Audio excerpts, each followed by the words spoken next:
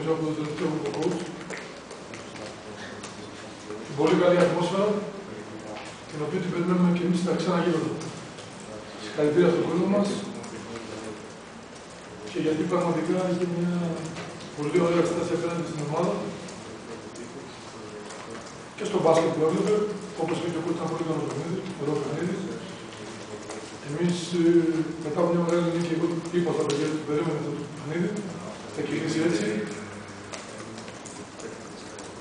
Και μπορώ να πω ότι το διαχειριστήκαμε καλά με τους παίκτες οι οποίοι πολλές φορές δεν έχουν παίξει πολύ χρόνο στην ομάδα μας και αυτό είναι πολύ σημαντικό υπέρ για την ομάδα μου.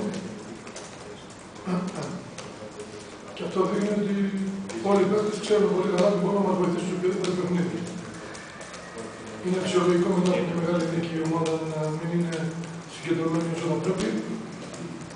Αλλά δεν μπορώ να πω ότι πραγματικά τα παιδιά κάνουν προσπάθεια αυτό να το βελτιώνουμε